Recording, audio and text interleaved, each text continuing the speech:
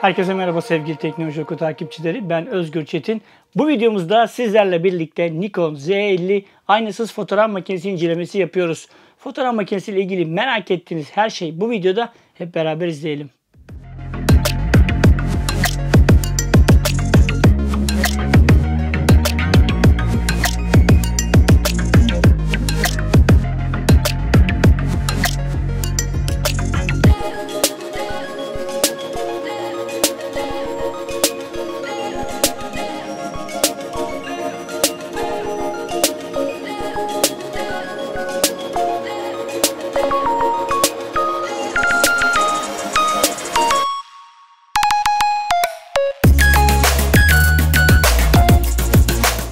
Teknoloji okuyu takip ediyorsanız yaklaşık olarak 15 gün önce güzel bir kutuyla bize gelen şu Nikon Z50 fotoğraf makinesini incelemeye başladığımızı görmüşsünüzdür. Onunla ilgili bir kutu açılım videosu çekmiştik. Şuradan şimdi yukarıdan o videonun linkini de sizlere paylaşacağım ve siz de en azından bu kutuda neler var göreceksiniz. Hatta şuradan şöyle bir göstereyim size de kutuyu da. Şöyle bir kutu bize gönderilmişti. Bu özel bir kit. Ee, Nikon Türkiye'nin e, yurt dışında da var benzer kiti böyle. Hani bu ürünü deneyimleyebilmek için kullanıcılara işte test etmek isteyenlere bizim gibi işte YouTuber dediğimiz teknolojiyle ilgilenen işte sitesi olan vesaire olan insanlara gönderdiği bir kit. Tabii 15 gün bit, bitmek üzereydi. Ben de bir video çekip ürünü geri teslim etmeden önce e, deneyimlerimi sizlerle paylaşmak istedim.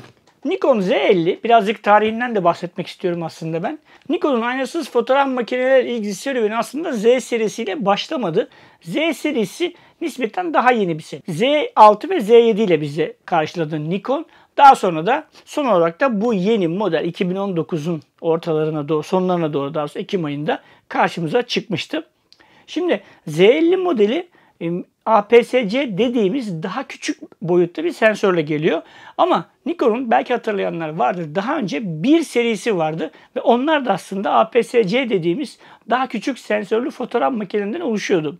Oradaki tecrübesini Nikon biraz daha geliştirdi ve full frame dediğimiz çünkü Z6 ve Z7 full frame dediğimiz sensör sahip fotoğraf makineleri iken e, Z50 ise APS-C dediğimiz e, bir e, boyutta geliyor. Yani biraz daha küçük. Giriş ve orta seviyedeki DSLR modellerinde de bulunan bir sensör boyutu bu. Bu şu anlama geliyor tabii ki. Ağırlıklı olarak amatör kullanım değil mi? Demek istemiyorum belki ama hani profesyonel olmayıp da iyi fotoğraf çekmek isteyenler için birazcık tasarlanmış bir fotoğraf makinesi Z50. İsterseniz gelin her zaman yaptığım gibi ilk olarak dış görünümünden biraz bahsedeyim. Ki dış görünümü ben çok beğendim bu arada. Çünkü neden? Şu kısım şöyle göstereyim. Bombeli bir şekilde tasarlanmış. Yani elimizi deklanşöre koyduğumuz bu kısım bombeli bir şekilde tasarlanmış. Genelde aynasız makineler son dönemde bu şekilde bir tasarıma sahip oldu ama daha önceki modeller burada düzdü ya da daha küçük bir çıkıntı vardı. Bu da tutulmasını zorlaştırıyordu. Zaten küçük bir gövde vardır aynasız makinelerde. Çünkü bu e, aynasız birazcık da oradan geliyor. Bir vizör sistemi olmadığı için dijital vizör var hemen hepsinde. Vizör sistemi bulunmadığı için çok daha küçük tasarlanabiliyor. Ama bu beraberinde tutmayı da zorlaştıran bir tasarım getiriyordu. İşte bu Z50'de böyle bir sıkıntı yok. Ben e, ergonomik olarak yani bir standart bir fotoğraf makinesi, bir SLR makine tutuyormuşçasına rahat bir şekilde tutabiliyorum. Herhangi bir sıkıntı yok. Görüyorsunuz bu kısım gayet güzel tasarlanmış. Bunun dışında e, aslında Nikon'dan alıştığımız izler var. Nikon'un DSLR modellerinden. Mesela on-off tuşu deklanşöre entegre edilmiş. Buraya işte parmağımıza dokunduğumuzda açılıyor. Sonra tekrar geri kapatmak için yine şöyle bir şöyle bir mekanizmamız var. Buradan açıp kapatabiliyoruz. Mod tuşu üst kısımda bulunuyor. Birazcık bana biraz garip geldi mod tuşu ama iş görüyor. Onda bir sıkıntısı yok. Video ve fotoğraf çekmek için tuş da ikisinin arasında geçişi mod tuşuna entegre edilmiş bir diğer bir tuş yardımıyla yapıyorsunuz. İleri geri çekebiliyorsunuz. Bu şekilde kullanılıyor. E, bir tanesi ön tarafta. Şuradan göstereyim. Sonsuz dönen bir tuş var. Bir tanesi de arka tarafta oldukça büyük. Şu üst kısımda gördüğümüz bir sonsuz dönen tuşla kumanda ediliyor. Yani birçok menü ayarları vesaire bu hem bu öndeki hem bu arkadaki tuşlarla yapabiliyorsunuz. Ayrıca benim çok hoşuma giden bir özellik e, function tuşu var. iki tane objektifin hemen yanında. Çok da zor görülüyor bu arada bu normalde. Bu function tuşlarını bir şeyler de atayabiliyorsunuz. Bir ve function 1 ve function 2 olarak yazılmış. Bunları bir şeyler atayıp buralardan da hani bir şeyleri böyle hızlıca ISO'yu şunu bunu e, buradan da kumanda edebiliyorsunuz. Bu güzel olmuş. Arka tarafa geçecek olursak çok fazla bir tuş kalabalığı yok.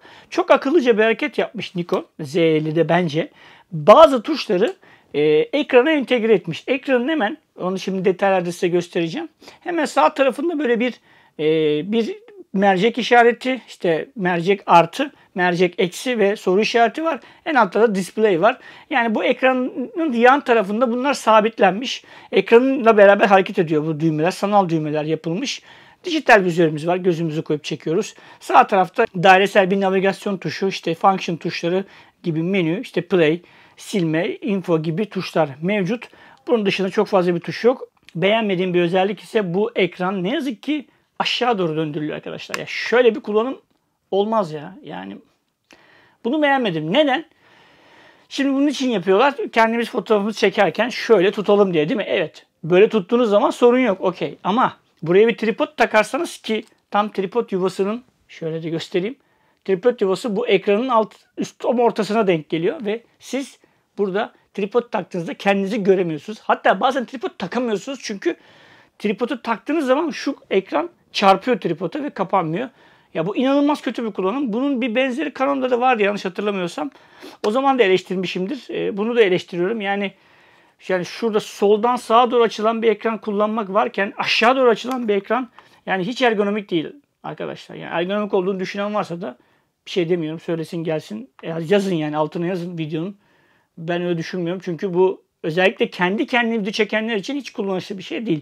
Ha yani bir operatörünüz, bir kameramanınız varsa sorun yok ama siz kendi kendinize çekiyorsunuz. Yani ki bu ürün nispeten ucuz bir ürün olduğu için insanlar bunu kendileri çekmek için kullanacaktır diye tahmin ediyorum. İşte vloggerlar, youtuberlar vesaire veya biz. Ama ben bunu kullanamadım mesela. Bir video çekimi çekmek istedim. Çok zorlandım. Ee, çok hani hayali bir şekilde gör, gö, görmeye çalışıyorsunuz. Tamam uygulama vesaire var ama yok olmamış. Yani bunu beğenmedim onu söyleyeyim. Devam edelim. Birazcık fazla tepki verdim belki ama kusura bakmayın. E, pilimiz, pil ve e, bellek kartı yuvası aynı yerde alt kısımda entegre edilmiş. Biliyorsunuz giriş seviyesi ve orta seviye modelde genelde böyle oluyor. Birazcık seviye yükselince yan tarafı konuluyor. Onu da belirtmiş olayım. Bunun dışında ergonomisi güzel bir e, cihaz var. E, bayonet olarak Z bayonet kullanıyor. Objektif seçenekleri birazcık e, çok seçenek yok şu anda. 16-50 milim var bir tane. Bir de 50-250 var. Bir objektifimiz 16-50, bir objektifimiz de 50-250. Seçenek sayısı şimdilik birazcık az gibi. Ama bu 16-50 şöyle göstereyim. Şöyle bakın pancake gibi kapanıyor. Ve şöyle açıldığı zaman bu kadar oluyor. Kapalıyken de çok küçük bu arada. Ve makinenin de boyutunu ciddi anlamda küçültüyor. Güzel de bir mekanizma yapmışlar. Bir düğme falan yok. Ee, şöyle hafif bir 16'ya gelip tık yaparsanız kendisi kapanmış oluyor. Öte yandan Fotoğraf makinesi Nikon Z50'nin yan tarafında mikrofon girişimiz var. Kulaklık çıkışı yok. Wi-Fi Bluetooth özelliğimiz bulunuyor zaten onu söylemiş söyleyelim. USB bağlantımız ve HDMI bağlantımız var. Mini HDMI var. USB tarafında şunu söyleyeyim. Bu USB sadece datayı aktarmak için değil aynı zamanda şarj oluyor. Takdir ettim Nikon'u çünkü güzel bir özellik bu. Yani artık USB'den şarj olsun şu fotoğraf makineleri ya. Yani Sony yıllardır yapıyor. Nikon da getirmiş sonunda.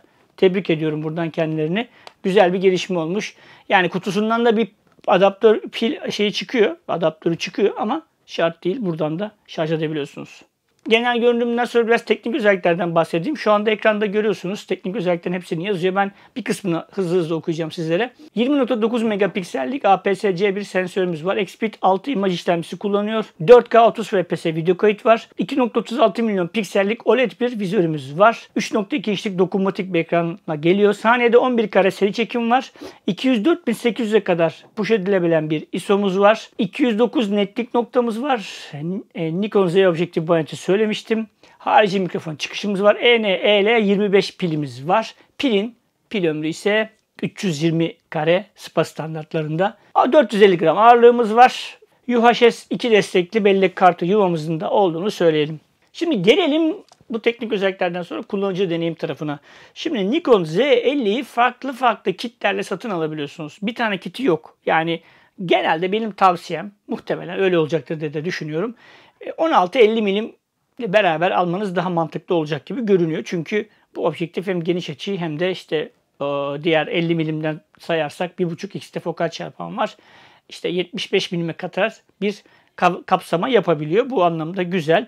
Biraz daha böyle kuş çekeceğim, vahşi doğa çekeceğim vesaire çekeceğim diyorsunuz. Belki 50-250 de alabilirsin. O da fena bir objektif değil. Bu arada Express Kit'in içinde o da vardı. Ondan da bir iki deneme yapma imkanı buldum. Fena bir objektif değil ama tabii bu objektifin de onun da diyafram açıklıkları çok iyi değil takdir ederseniz. Bunlar birazcık orta seviye veya giriş seviyesine yönelik cihazlar olduğu için işte bunu, bunun mesela 3.5 6.3 öbüründe de yine çok yüksek bir rakam yok. Ee, o bakımdan bu tarz objektifler daha çok günlük kullanım için. Yani ışığın güzel olduğu, ışığın iyi olduğu, güneş ışığı olabilir, doğal ışık olabilir veya yapay ışık olabilir yerlerde işinize yarıyorlar. Örnek fotoğraflar ve videolar yine videonun yani bu incelemenin içinde göreceksiniz. Ama hani ben biraz daha yüksek çözünürlüklü görüntü fotoğrafları istiyorsanız açıklama kısmında bir link vereceğim. Oradan teknoloji oku üzerine bir galeriye gideceksiniz. O galeride daha detaylı fotoğrafları da görebilirsiniz. Şimdi kullanım deneyimine gelecek olursak benim e, 4K 30 FPS video çekiyor olması güzel. Yani burada crop murop vesaire hiçbir şey yok. Onu baştan söyleyeyim. Bu güzel. Orta seviye bir aynasız olduğu için de böyle bir özellik konulmuş. Rakiplerinde de olan bir özellik aslında bu. Ben gayet beğendim. Onu baştan söylemiş olayım. Kullanımı kolay mı? Ee, uzun yıllar Nikon kullanmıştım ben. Özellikle DSLR tarafında. Menüler çok benziyor. Yani daha önce Nikon kullandıysanız çok aşina olacağınız menüler karşınıza çıkıyor. İşte birçok enteresan özelliği de var. İşte silent shutter var. Yani sessiz çekim yapabiliyor. Bu sayede böyle gürültülü olan, gürültünün hoş istenmediği ortamlarda o özelliği açtığınızda sessizce fotoğraf çekebiliyorsunuz. Şakır şukur ses gelmiyor. Yani normalde şöyle bir ses geliyor. Yine çok yüksek değil ama bir tiyatro oyunu sırasında veya bir konser sırasında hoş karşılanmayabilir. Onu tamamen kapatabiliyorsunuz. Silent Shutter'ı aldığınız zaman. Hatta ben şimdi bir alayım. Evet şu anda Silent Shutter'ı aldım. Fotoğraf çekiyor mesela şu anda. Hiç ses duyulmuyor. Sıfır ses. Böyle bir özelliği de var. Yani bunu bunu kullanmanız gerekirse menüden açıp kapatabiliyorsunuz. E dediğim gibi daha önce eğer Nikon fotoğraf makinesi kullandıysanız çok da zorlanmayacağınız bir menü var. Kullanmadıysanız da zorlanacağınız menü değil ama alışmanız bir parça vakit alabilir belki. Onun dışında birçok ayarı var. Türkçe menü zaten. Hani birazcık da fotoğrafçılıktan anlıyorsanız rahat bir şekilde kullanabiliyorsunuz fotoğraf makinesini. Çekim modları vesairesi zaten çok yeterli. E, full oto modu da var. İsterseniz tamamen otomatik de kullanabiliyorsunuz. E, daha önceki Nikon modellerinde de olan işte fotoğraflara efekt verebilme çeşitli renkleri mesela bir fotoğrafı çekerken sadece belli bir rengin fotoğrafını o fotoğrafta o rengin görünmesini sağlamak gibi özellikleri hem videoda hem fotoğrafta kullanabiliyorsunuz. Bu daha önceki Nikon modellerinde de vardı. Aynen buraya da transfer edilmiş o özellik. Güzel olmuş.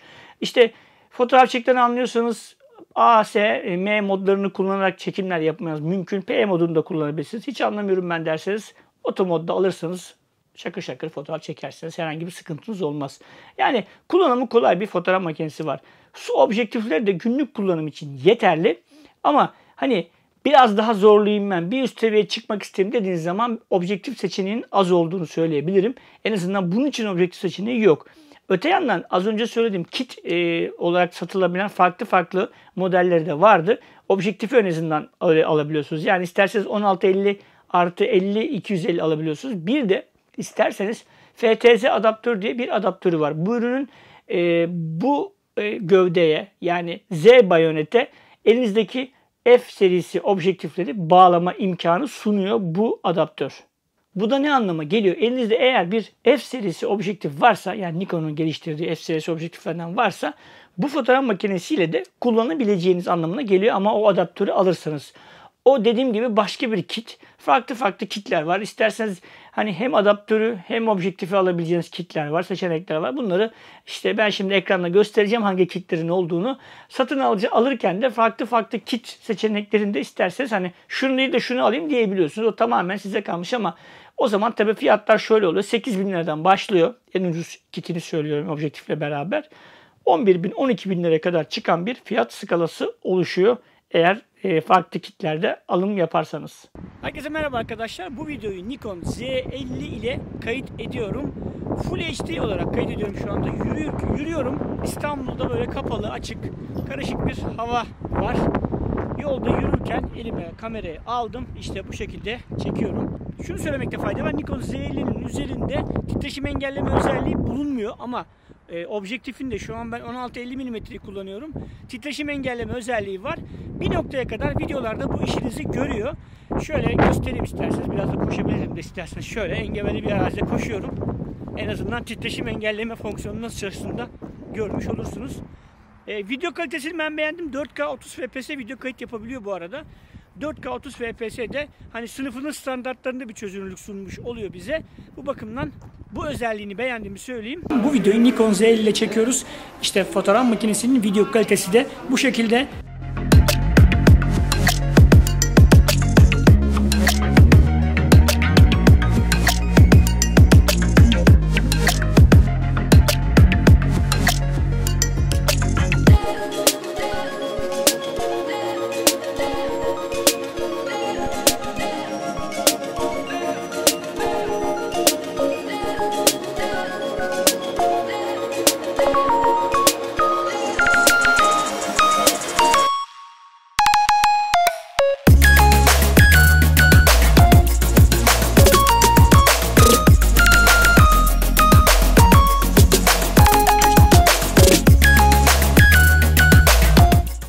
Nikon Z50 aynı zamanda kablosuz olarak uzaktan kontrol edilebiliyor. Bunun için geliştirilen SnapBridge isimli uygulamayı yüklediğinizde ve gerekli ayarları yaptığınızda fotoğraf makinesini uzaktan da kullanabiliyorsunuz. Uygulamanın arayüzü çok karışık değil hızlı ve kolay bir şekilde bağlantı sağlanıyor. Uzaktan çekim gibi özelliklerinde bulunduğunu belirteyim.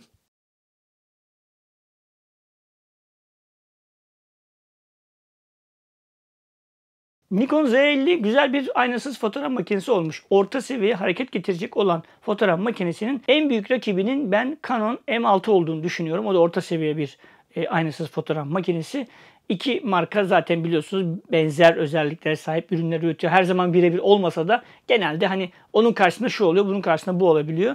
Ona benzeyen bir ürün. Fiyatları da 3 aşağı 5 yukarı aynı. APS-C formatında bir sensör kullanarak o alanda rekabet etmeye çalışıyor. Güzel bir makine olmuş. Onu söyleyebilirim. Beğendiğim taraflarından biraz bahsetmek istiyorum. Birincisi video fotoğraf kalitesini beğendim. Özellikle videoda Nikon Canon'a göre birazcık gerideydi ama bu aynasızla beraber bence o e, zincirlerini kırmış gibi görünüyor. Ben video kalitesini çok beğendim. E, gayet başarılı şekilde video çekebiliyorsunuz. 4K 30 FPS video yapması güzel. Yani crop yok, şu yok, bu yok, 15 FPS falan yok, 24 FPS yok. Hani böyle çeşitli numaralar yok. 30 FPS yapabiliyor. O güzel. USB'den şarj olabiliyor. Onu da çok beğendim. Bence artık USB'den şarj olmayan fotoğraf makinesi kalmasın diyorum. Bunu özellikle altını çizerek söylüyorum. Sessiz elektronik shutter olması güzel. Yani gerektiği yerlerde bu her zaman kullanacağınız bir şey değil belki ama gerektiği zaman böyle bir özelliğin olması ben beğendim. Bir de ergonomik olarak tasarımını da çok beğendim. Yani ele iyi oturan, DSLR makineleri aratmayan bir tasarımı var. Onu belirtmiş olayım. Neyini beğenmedim? Objektif seçeneği az. Evet bu bir orta seviye veya giriş seviyesi bir model. Belki bunu alan kullanıcılar hani aman prime lens alayım, şunu da alayım, bunu da alayım deneyecektir. Onu da kabul ediyorum. Ama yine de bir iki tane seçenek olursa fena olmaz diye düşünüyorum. Ee, en azından hani kullanıcılara biraz op- opsiyon vermek gerekiyor. Ama bu bütün aynasızların genel sorunu o, o, şu anda. Yani objektif seçenekleri yeteri kadar yok. E, Nikon'da da benzer bir durum söz konusu. Beğenmediğim bir şey ise şu ekran meselesi. Yani bu ekran aşağı doğru arkadaşlar kimse bunu böyle kullanmaz. Yani açık söyleyeyim ben. Yani bunu bu şekilde kullanmak için tri, tripodu yukarıdan bağlayabiliyor olmanız lazım ve böyle bir saçmalık da hani garip olur. O bakımdan bu hiç kullanışlı değil. Hiç ergonomik değil. E, şiddetle terk edilmesi gerektiğini düşündüğüm bir özellik bu. Yani yana doğru açılmak varken bu aşağı doğru açılması bana çok ters geliyor. E, mantıklı bir sebebi var mı bilmiyorum ama ben bunu hiç beğenmediğimi söyleyeyim. Evet bir fotoğraf makinesi incelemesi ki bu seferki konuğumuz Nikon Z50 oldu daha sona erdi. Eğer Nikon Z50 ile ilgili anlatmayı unuttuğumuz, sizin merak ettiğiniz ya da şöyle bir özelliği var mı gibi sorularınız varsa bu videonun altında bizlerle paylaşabilirsiniz. YouTube kanalımıza abone olmayı unutmayın. Bunu her seferinde söylüyorum. Abone sayısını arttıralım. Büyük bir topluluk olalım ki sizlere daha iyi içerikler, daha kaliteli içerikler üretmeye çalışalım. Devam edelim ve bu konuda bize moral verin. Lütfen bu konuda bizi destekleyin. Yalnız bırakmayın. Aynı zamanda bizleri Instagram, Twitter ve Facebook gibi sosyal ağda takip ederseniz çok sevinirim. Farklı bir videoda, farklı bir içerikte karşınızda olmak üzere. Hoşçakalın.